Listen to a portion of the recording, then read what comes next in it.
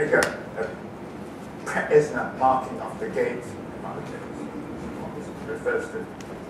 The vast majority, though, are depictions at various levels of stylization, stylization of simple domestic objects.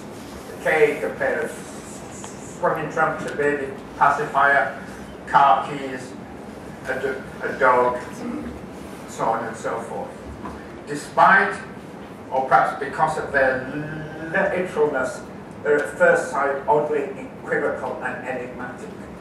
What does it mean, for example, to encounter in the small park near the, near the subway stop the image envelope? Or to suddenly come across this abstracted picture of a beach? What does it mean?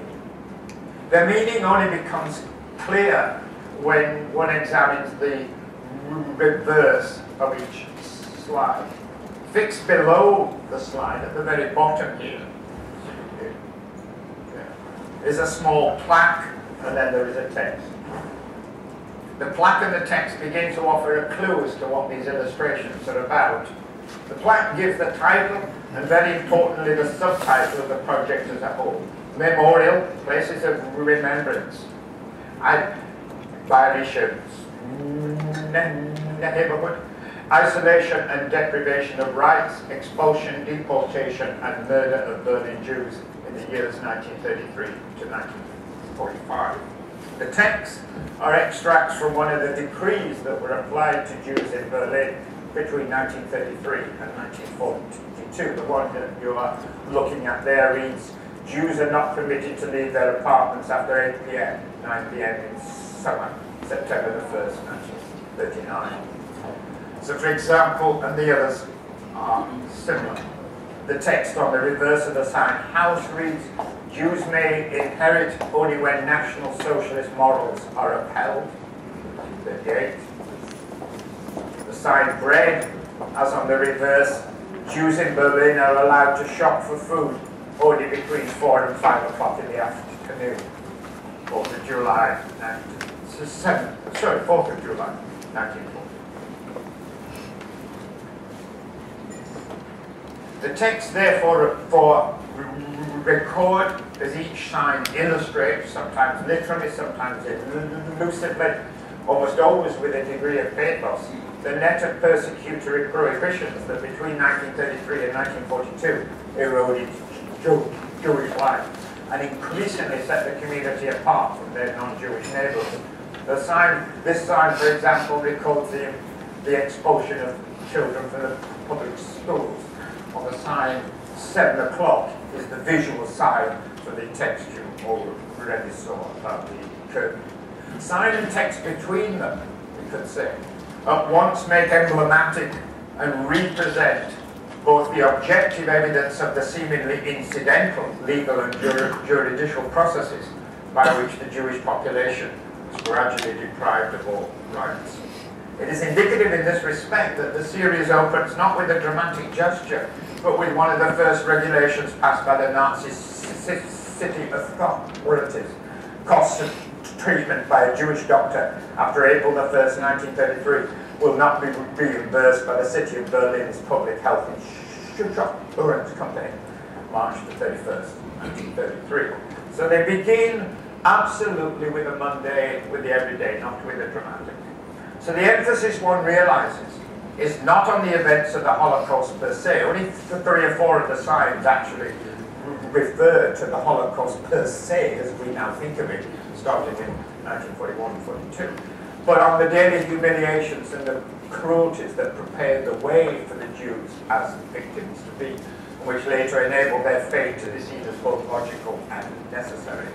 Taken individually, some of these decrees may seem to matter, but they're not taken or delivered individually. What is of consequence is the range and cascading accumulation of the edicts imposed. There were far more than the 80 which, which Dean Schnock worked around. And they covered, as is already implied, every single aspect of life down to the most mundane and particular.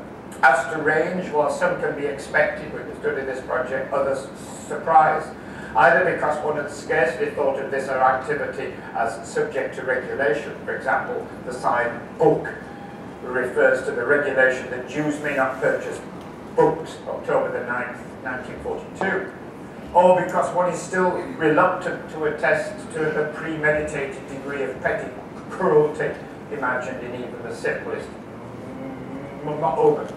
So the image cat says, Jews are no longer allowed to have household pets, 15th of March 1942. Occasionally one is almost sickened by the realization of what is to come. I remember one visit here where I suddenly came across this sign which I'd not seen before called uh, hopscotch.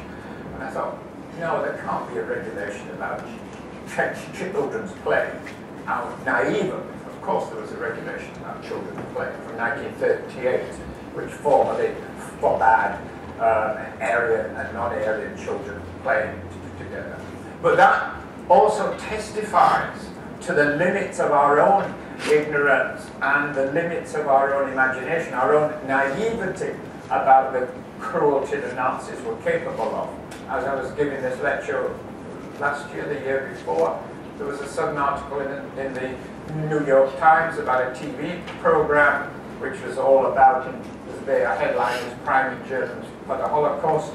And one little point in this, which I didn't know previously, was the creation the Nazis had created a children's board game called Jews Out, where the person who won the game was the person who managed to persuade most Jews to emigrate. 1936, when we were still talking about immigration. I noticed above that the, the initial surprise in how few of the signs directly attest to the deportation and murder uh, or to what we assume is the markers in the process of rendering Jews as non-persons. There are some, especially after 1941, the sign factory, for example. Oh, sorry, I got the wrong sorry, I managed to put the wrong The sign factory, for example, denotes the edict from March 1941 that all adult Jews must do hard labour, and that of shirt that all Jews over the age of six must wear a yellow star. The black marker on here um, refers to a de decree of the 23rd of October 1941 that the emigration of Jews is forbidden, while the, while the acronym DR, which stands for Deutsche Reichsbahn, stand, which is for the German railways, bears the double legend, first mass deportation of Berlin Jews, October 18, 1941, and first deportations directed to the death camp at Auschwitz, July the 11th, 1942. What, but even while this escalation towards death was developing, degrees of astonishing banality are still being issued. One, for example, as late as February 1942, Jews are forbidden from buying newspapers and magazines, or June 1942, and cigarettes and cigars are no longer sold to Jews. The point, of course, is precisely the fact that these lawful edicts reach into the most petty areas of life and bear with particular or peculiar force on the character of everyday life, that they, take, that they succeed in taking the Jewish population of Berlin out of society. The lesson that is the, the point that we get here is just the extent to which these decrees, as the artists themselves say, systematically enforce the Jews out of daily life and gradually rob them of their basic. The lesson that is borne in on the spectator is that it is impossible not to perceive this deep intertwining between the lawful enactment, encouragement, and legitimation of petty cruelty and what is to come. Now it's interesting that I think that today these little moments of petty cruelty might even strike us harder than they might have done a few years ago. I think to some extent because of the continuing barbarism of our times, because of things like almost what we might call the Holocaust industry, towards the sort of escalation of sheer numbers where people, talk 5 million, 6 million, we think of the millions of dead across the 20th century, we are almost inured in a way to the actualities of mass death. What now touches us, we realize, are those moments at which the political process kind of comes down to earth. So the side envelope, uh, which I showed you earlier, has its on its reverse side, one of the very, very few just pure personal stories which this project actually uh, deals with. Uh, the sign reads, um, the time has come, tomorrow I must leave, and naturally it is a heavy burden. I will write to you. This is just a statement just before being deported, January the 16th, 1942. So this is the project. Got a sense of the project. The question for us is, how does it work? And what lessons does it offer concerning design? Today, that's what we're going to try to look at, because I do think it has lessons.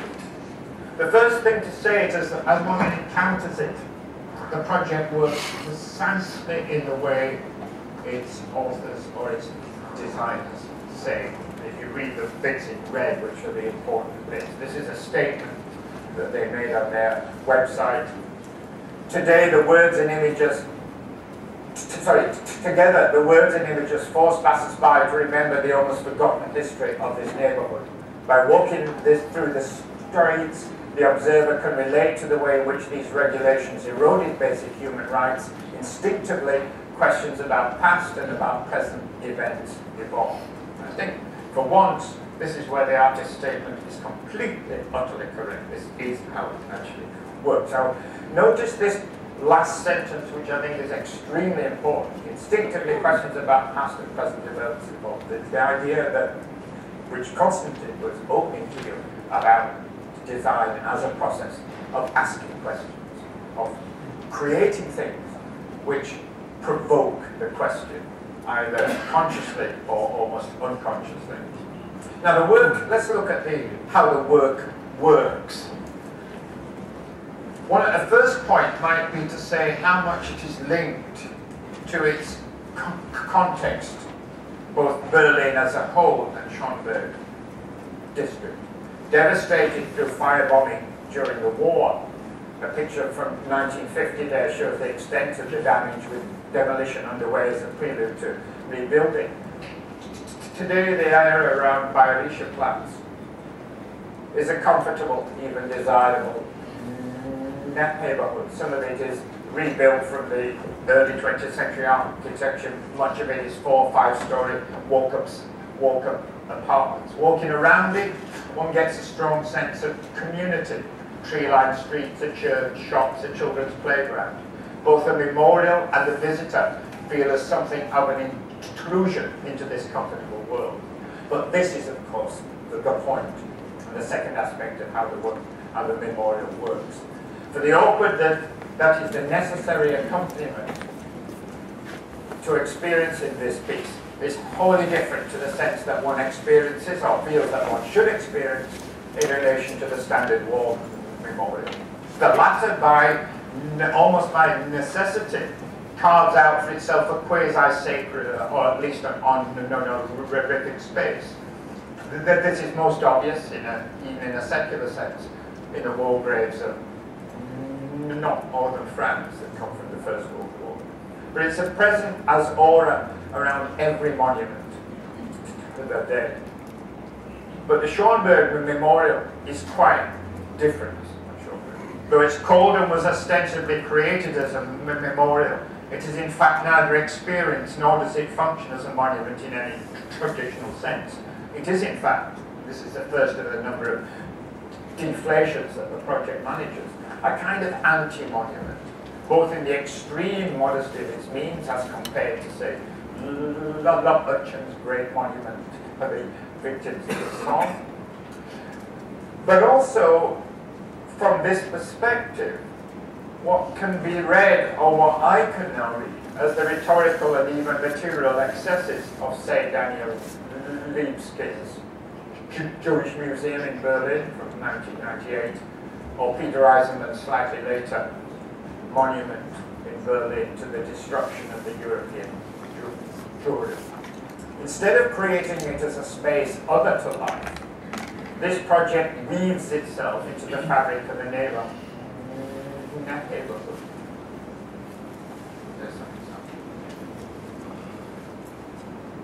You're just fine. Put another way, we can say that counter to the logic of almost every other memorial of death, Steenschnop's project insists on the continuity between what is memorialized or recollected of the present, not as memory or the attempt to hold in mind what was, but also as commentary on what is present.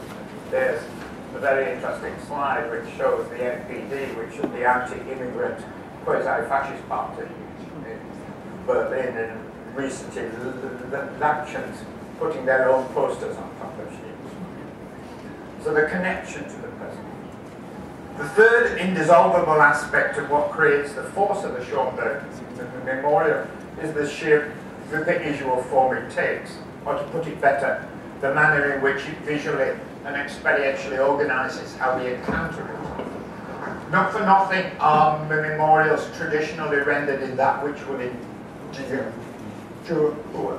As Victor Hugo has it in his reflections on printing and architecture in Notre Dame de Paris, at every moment when human memory has felt itself overladen in mind, he says, it seals itself and preserves its memory, memories and its relics beneath a monument. A visible monument, but above all durable. And for millennia, Victor Hugo says, the geological endurance of stone made it the natural material. So you make your memorial in order to endure. Here is Stonehenge. Easter Island, and even even the effort of working stone inscribed the traditional monument with a weight of human investment. One pays tribute, in fact, today as much to the act of its inscription as to what was inscribed. And even contemporary moment, monuments continue this tradition, hence the fall back to neoclassicism in some of the worst and most trite memorials. This is the United States memorial to World War II in Washington. But it's even there in the, in the attempted reinvigoration of this tradition in Maya Lin's Vietnam Veterans Memorial and in Peter Eisenman's Sea of Concrete Blocks, which you just see. The Schoenberg Memorial has nothing whatever to do with this tradition. In the Schoenberg piece, the items are simply brightly colored printed metal images, 80 of them, distributed around the streets of the neighborhood. What one encounters are very simple images indeed, derived from watercolor and acrylic originals, almost childlike in their simplicity, as I've said, they evoke for me a child's reader. But they're obviously not, in their sighting, simply illustrations. They are enunciative, even if it's not clear at first what it is they are announcing. Now, when one realizes what's going on here, attention naturally begins to focus on the text. But if the text, the extracts from the decrees are the message, the effect of the piece is by no means, of course, the same as simply reading the list of regulations and orders. It is one thing to read these regulations, shocking as some of them are in their banality and petty cruelty, and quite another to discover them reproduced on the reverse of an image hung on a lamppost in a pleasant Berlin suburb. This one is an edict which forbids Jews from purchasing rationed goods, which virtually means at that point the remaining Jews must have purchased starved to death. But what I always notice here is the contrast between this message and the geraniums in the window box of right. It is different to read this message in this context. This is the most interesting for example. If you encounter the sign for the expropriation of jewelry. And one does indeed, one of the other aspects of this, trying to visit this memorial, is that one does in fact discover these. The green dots on this map represent the sighting of the various signs. You will see that they are maybe 100 meters, maybe 200 meters um, apart. There is a cursory center to the model, to the monument, which is the Bayerischer Platz, but with only two or three images to a street, one walks the surrounding streets with almost no sense of when or if you will find the signs. Even on repeated visits, one never sees all, all of them. And at times it can seem as if the signs go on in an almost endless profession, so that it becomes easy to imagine them distributed across the entire city, not across Jersey as a whole. And this is a side effect which I think the artists doubtless welcome, and this sense that they're just going to go on, they never stop. And the effect of this encounter, one can only call it that, is more stranger, because how on a most immediate level one first comes across the, the images. As I think maybe you've already picked up, as one finds them, one is at a loss at first to actually account for them. Lying between the literal and the, the enigmatic, but always staying this side of emotional expression, they have this kind of deadpan quality. One is puzzled. What is going on here? What is this? What does this chunk of wall mean? It actually meant that Jews are responsible for paying for the repair to the synagogues that were damaged during Kristallnacht. What does this mean? Eventually work out from the side of the other that it's a theatre curtain, and it refers to the edict uh, which bans Jewish actors and actresses. But this kind, their kind of non-engagement with any overt emotion produces an engaged puzzlement. Later one realizes that they are in this sense the equivalent, though not identically so, very importantly, of the prosaic matter of the regulations themselves. They have something of the same quality. They're a concentration of the regulations, they are not simply literal illustrations. The, the, some of them are ironic. There's this sign uh, right here, which translated means sort of good, good welcome in German. Welcome in the best sense of the word. But what it refers to is the edict that was sent out during the Berlin Olympics of 1936, which said, quote, to avoid giving foreign visitors a negative impression, signs with strong language will be removed. Signs such as Jews are unwanted here will suffice. During the 29th, 1936. So this sign is deliberately ironic. While, while even the sign as showed you earlier, the jewelry, which is almost literally ostensive and kind of pointing to its subject, is still sort of emblematic. Like most of the signs, it points to a segment of life, but it takes a slightly elliptical stance. And this gives the visual signs a kind of certain independence and vitality. They're not expressive of life, they are emblematic. And, and very important here too is I think the sense of human involvement which is heightened by the lack of finesse. They're somehow too crude or too naive to be art in a certain way. And the fact that there is a non, not quite a literal transposition between regulation and illustration means there there is a kind of wavering, a zone of uncertainty that is only resolved by actually reading and pondering the regulation pointed on the reverse side. So the, the too crude in a way to be art, and this one's forced to sort of ponder what could be happening here, to begin to engage. There is not simply a literal position.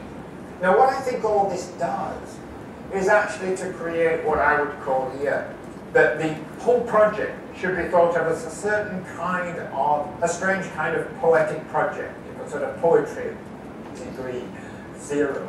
But it creates a space, I would argue, in which understanding can emerge. This understanding is not a kind of restitution.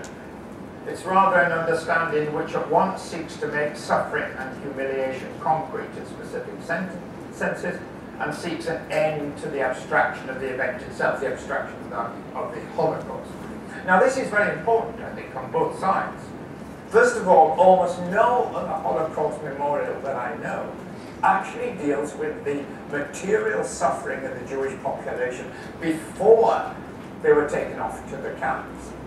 You see, when you think about it, a lot of the Holocaust memorials kind of, if you like, sort of presume the death, deaths. And you, one is left assuming that things just were, and then suddenly people were shipped off. And it actually wasn't like that. It was this years, it took, in fact, nine years to prepare the ground.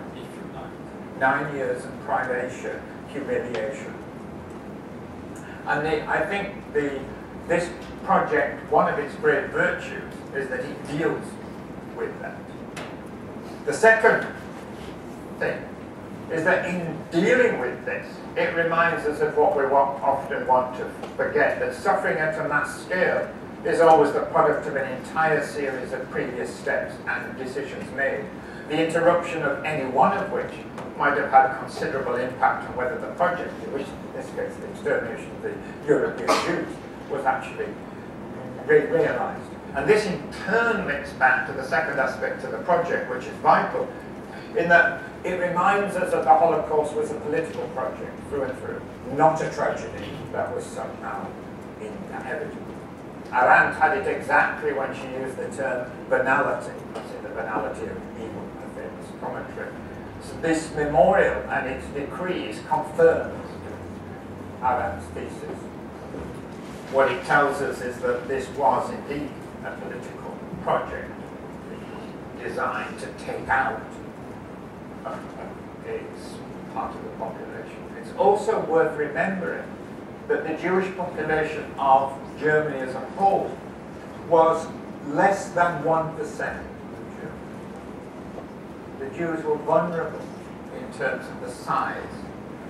By about after waves of early Jewish immigration, there was a fragment over half a million Jews left, as against 67 million for the German So an easy minority. So what does this achieve? What does the what does the uh, uh, the whole process achieve?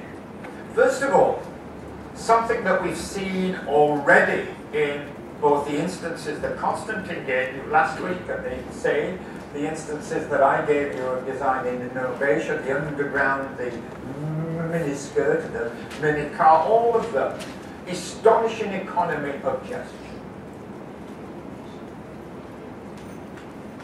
So, in a way, the gesture that makes the world is light.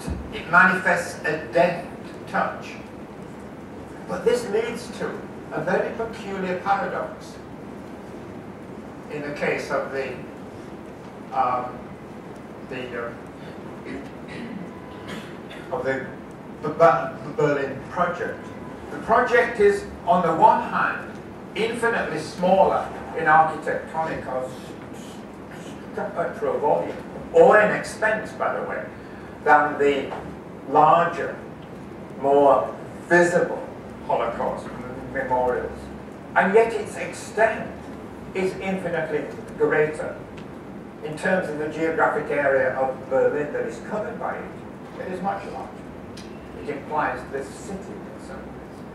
So there is this very interesting contrast here between these two moments. I would say that against the lightness of touch which the Schönberg Memorial offers us, the formal gestures of Libeskind and the monumentality of Eisenman look overwrought.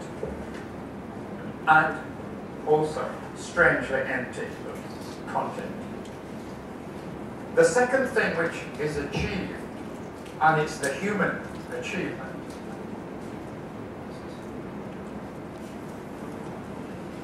is that the memorial disturbs the character of victim, the category of victim want to. This statement has haunted me ever since I read it in an interview with Saul Bellow.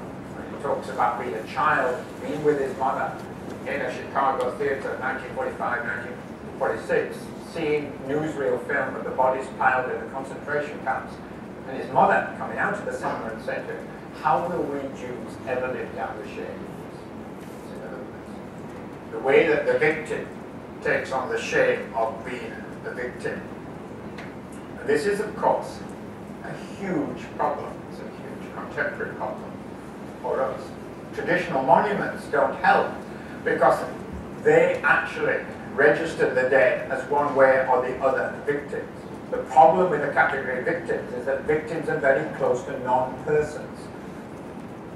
Victims are seen as the passive opposite of will by definition.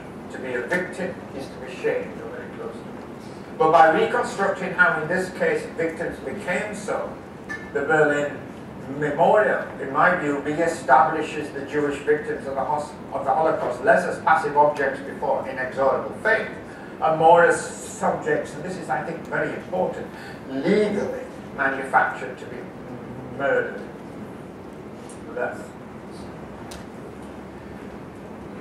Thirdly, I think that the the work is a kind of measure that it internalizes history and the causes of history within itself. So it doesn't make an external reference to history, it embodies that history within itself, inside it here. And at the same time, it provides a measure. Now it is madness to compare this project to the London Underground diagram. Yet the London Underground diagram, what does it do? It makes comprehensible and accessible what is almost incomprehensible in reality. And it does it through offering us a model form that we can get hold of. I think the Berlin Project is doing something very similar. It is taking what is almost incomprehensible, the Holocaust, and modeling it in a quasi-diagrammatic form, which means that we can get hold of it.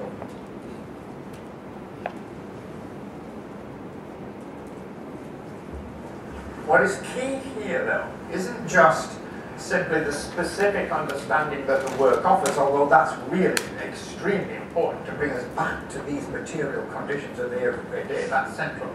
But it insists tacitly, the work insists that it is capable of offering understanding. In other words, it says, look, we can, you can comprehend this incomprehensible act. It is not an abstraction, an unknowable entity that we are doomed possibly to repeat because we do not know it, we can grasp it, shall we say, cognitively. So that's important. So the piece is in fact, in the end, less in my view a memorial than it is a means for looking at history. And this seems to be, linked in to a whole tendency within design now, which is designing not to an X, but precisely for looking at. Finally, there is the question of praxis, the action that arises or is capable. The concluding sentences of Theodor's Adorno, Theodor Adorno's essay, The Meaning of Working Through the Past, go as follows. The past will have been worked through only when the causes of what happened have been eliminated. Only because the causes continue to exist and does the captivating spell of the past remain to this day unbroken. But for this to occur, the past has to be confronted in a way that allows cause to become visible. And this depends crucially on the matter on the way in which the past is made present, whether it is left as a reproach, as I think it is in most traditional monuments, or as that which can be made, and for the state, state of the state of the victims must be comprehended. So it's, it's a little bit similar to Brecht's notion criticism to do more than whining must make the diagnosis. One of Brecht's. Now, to, to be sure, the Schöneberg Memorial wants to keep very much alive the human tragedy of the Holocaust, but not as a tragedy, rather as a specific political event. To, to do this, rather than reproducing the past as is, it reconstitutes it. It thinks cause and in so doing, it suggests that if we can do this, if we can make an event that can take on the conditions of historical murder, then might we not find our way back to forms of acting that are less reactive, that are more kind of affirmative in, in terms of the nihilisms of the present. The philosopher Zizek has recently claimed that the retroactivity of a gesture which reconstitutes our understanding of the past is the most succinct definition of what an authentic act is. In our own reactivity, we effectively just follow the coordinates of our identity. We could say the historical coordinates of our identity. Well, an act proper is the paradox of an actual move which retroactively changes the coordinates of its agent's being. Now, what Zizek is getting at here is that we are not simply determined by the past, we are determined by our history. But this history, Zizek is saying, is not fixed. It's not absolute because it is history is always a story, story, stories that we tell about ourselves. So what Zizek is saying, in effect, is that to rethink this is extremely powerful. That this actually can be, that we actually then, at this point, start to think, if you like, what is determiners in us, and we begin to decide what will determine us. Zizek has a nice interesting argument on this. It's problematic, but it's worth pursuing.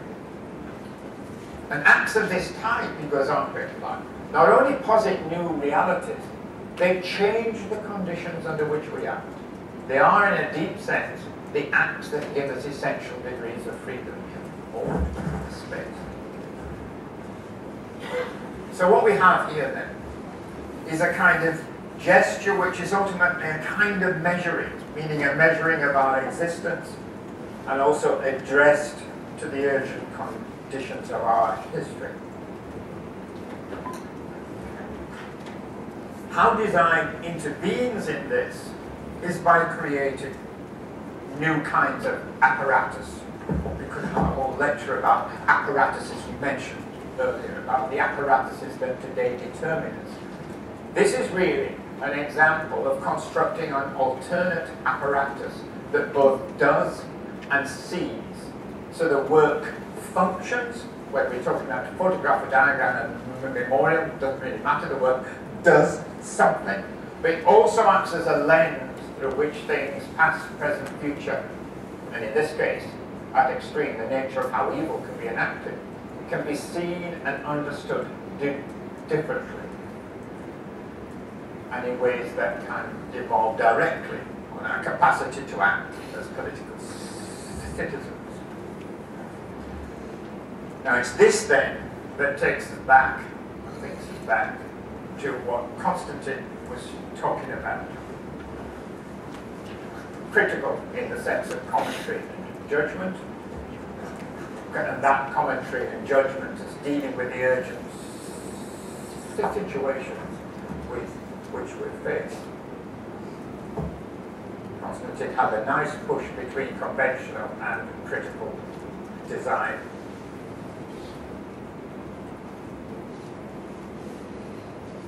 And the points by Dunne and Raby that for design, in order to not simply end up as sophisticated entertainment, then it has to identify and engage with complex and challenging issues basically saying the future would benefit from a more gritty view of human nature and an ability to make abstracted issues tangible, which is what, of course, design has. This is that exactly what the what the Schöneberg Memorial does. It makes an abstract issue tangible. It deals precisely with this.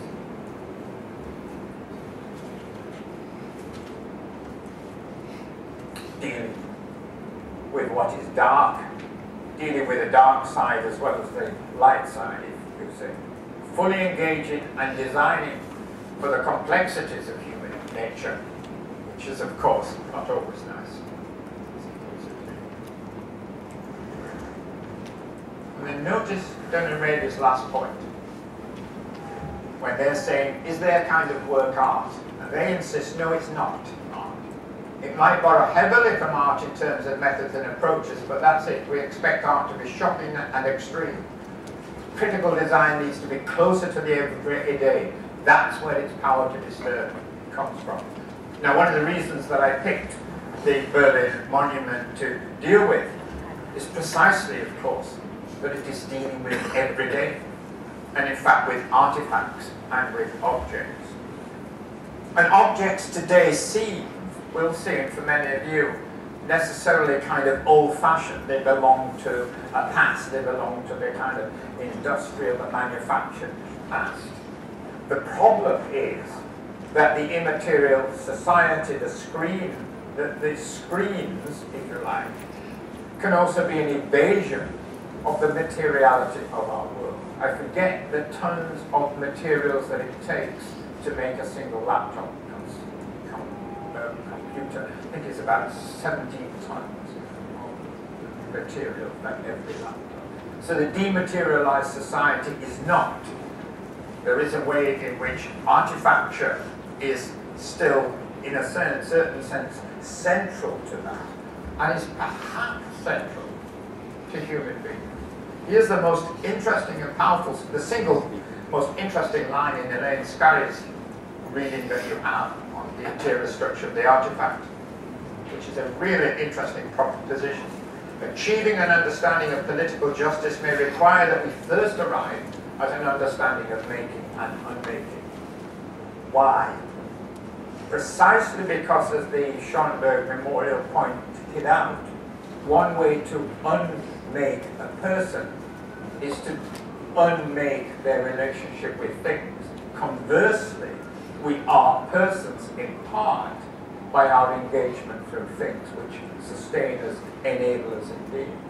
So there is a far more intimate relationship between making and unmaking, and it's at extreme moments like the Holocaust that we actually kind of set, or the, sorry, the, the kind of uh, moments that the Berlin uh, Memorial is dealing with, that one sees this. And this all links together towards, oh yes, sorry, this is a lovely slide on material deprivation. Um, this is Bergman's film, Fanny and Alexander. I don't know if any of you know the story, but basically the mother of the two children here left. Her husband dies. He's a theatre producer, director. He dies relatively young, leaves her with two children. She's rather beautiful. She gets seduced here by the big, big bishop figure who eventually persuades her to marry him. Uh, but his condition after they're married is that she and the children come to his and live in his house and they can bring nothing with them whatsoever from their previous life. And this is, of course, an act of astonishing tyranny. The film enacts this tyranny, which is actually grounded so much on simple death activation. So, but what Scan is making here, you see, is a relation between justice making and persons whose corollary is injustice unmaking and un unpersons. That's quite powerful.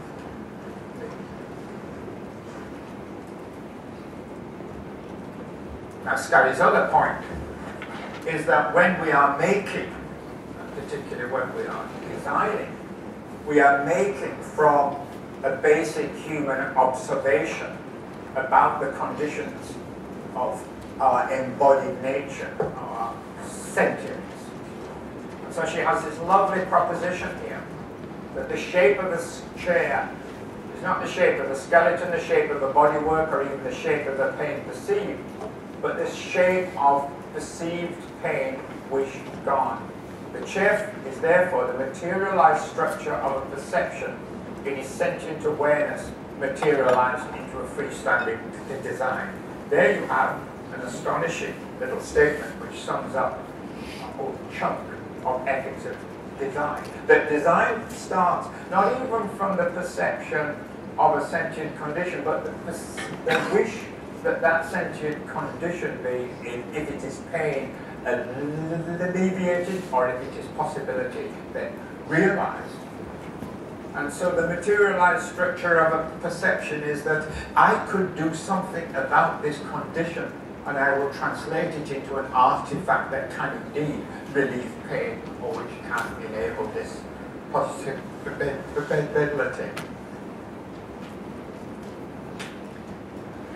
So this links, of course, to the idea of questioning our material things.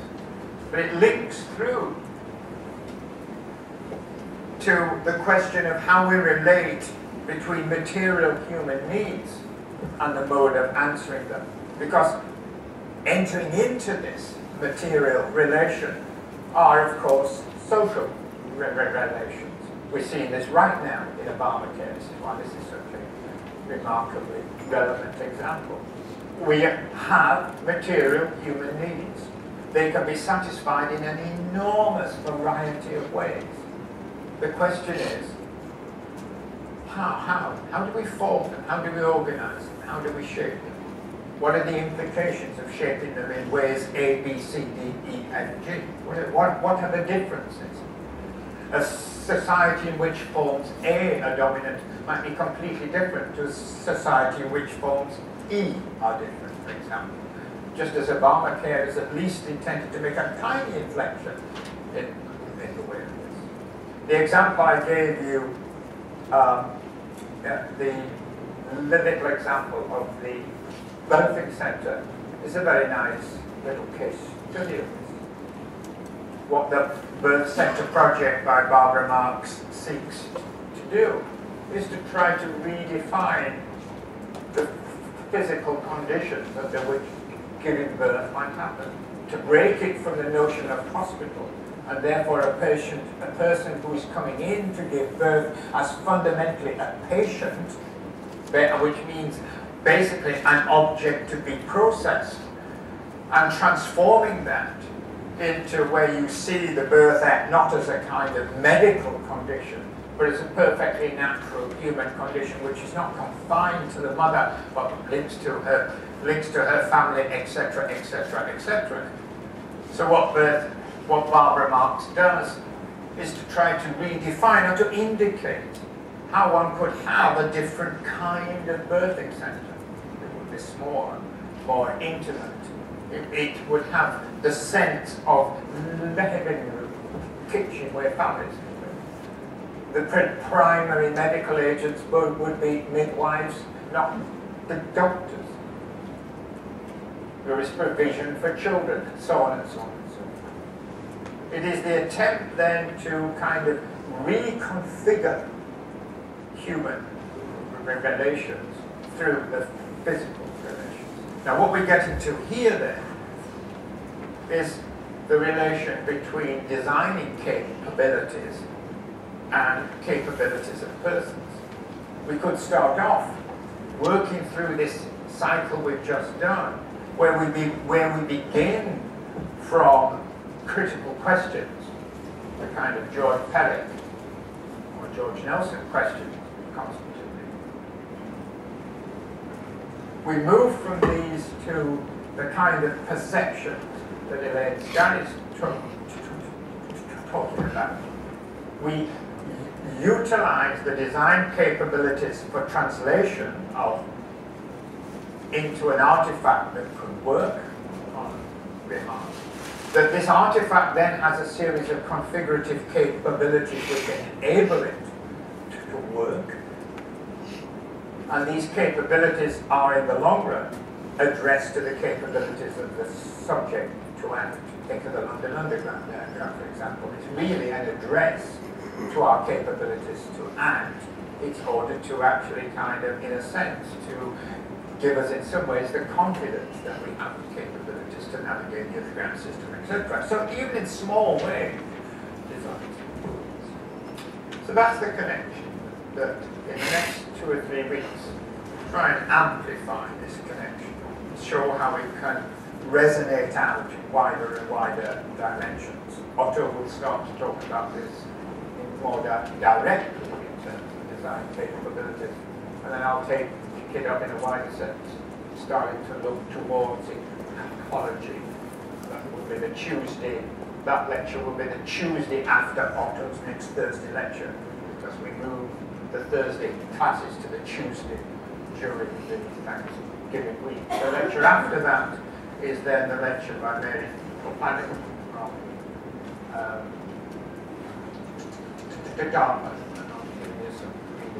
And she'll be dealing with something very similar. Okay, thank you.